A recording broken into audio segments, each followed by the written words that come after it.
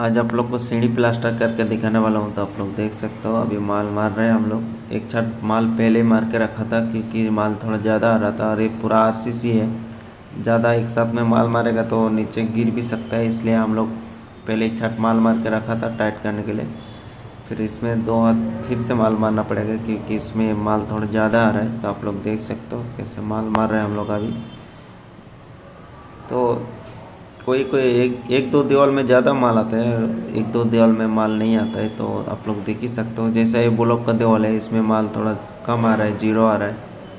और ये जो आर सी सी है आर सी सी किधर थोड़ा बहुत आउट हो जाता है तो माल मार के हम लोग को सीधा करना पड़ता है। तो आप लोग देख सकते हो, कैसे माल मारता है हम लोग। और पूरा वीडियो लास्ट तक वॉच करिए, और मेरे वीडियो पे चैनल पे नहीं हो तो प्लीज़ सब्सक्राइब करके नोटिफिकेशन ऑल पे सेट कर दीजिए।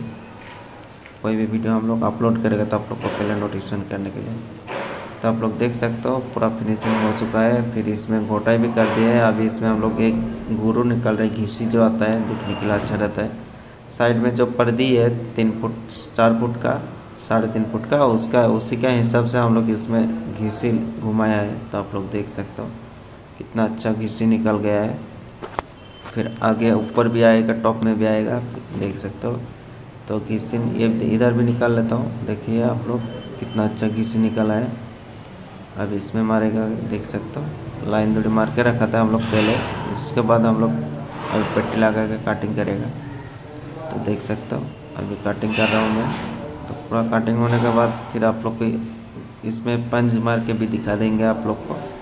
तो आप लोग देख सकते हो, गुरु निकाला जा रहा है। गुरु निकालने के बाद फिर आगे का प्रोसेसिंग आप लोग को दिखा देंगे। तो प्लीज़ वीडियो को आप लोग शेयर ज़रूर कर दीजिएगा तो आप लोग देख सकते हो कितना फिनिशिंग कितना अच्छा हुआ है देवल का।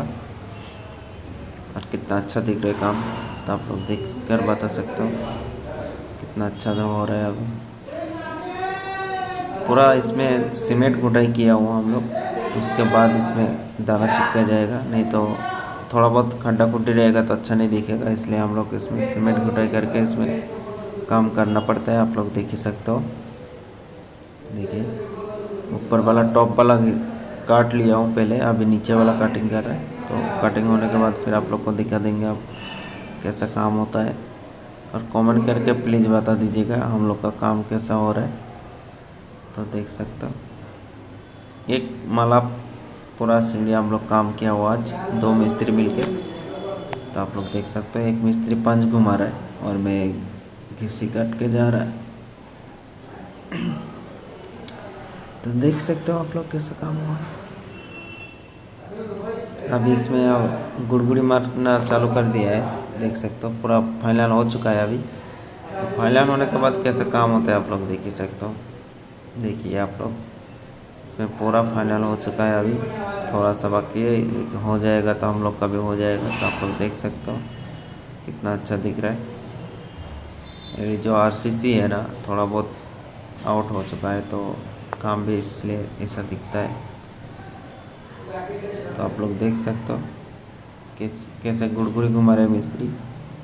एकदम अच्छा करके गुड़गुड़ी घुमाता है और दादर पे गुड़गुड़ी देता है। तो आज के लिए इतना ही है।